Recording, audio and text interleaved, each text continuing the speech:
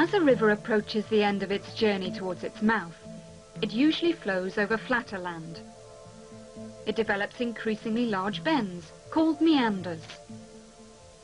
Meanders constantly change their shape and position, sometimes creating steep cliffs, like these in the Mosel Valley, over a period of thousands and thousands of years.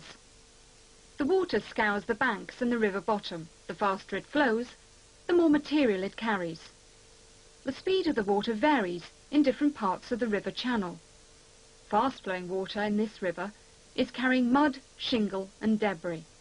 Where there is a bend in the river, it wears the outside bank away. Little by little, the water undercuts the bank. The slowest flowing part of the river is on the inside of the bend, where the friction is highest and this is where it deposits its load of mud and shingle, forming a bank. Over the years, it extends further and further into the river.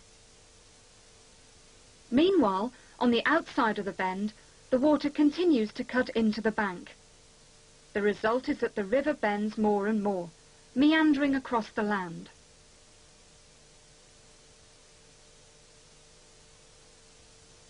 Some of the world's most impressive meanders are in the Luangwa Valley, Zambia.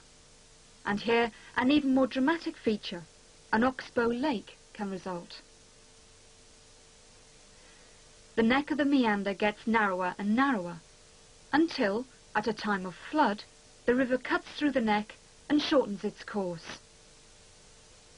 The original meander gets blocked off by further deposits of material, to leave a crescent-shaped Oxbow Lake. This meander became an oxbow lake and within a few years it had dried up.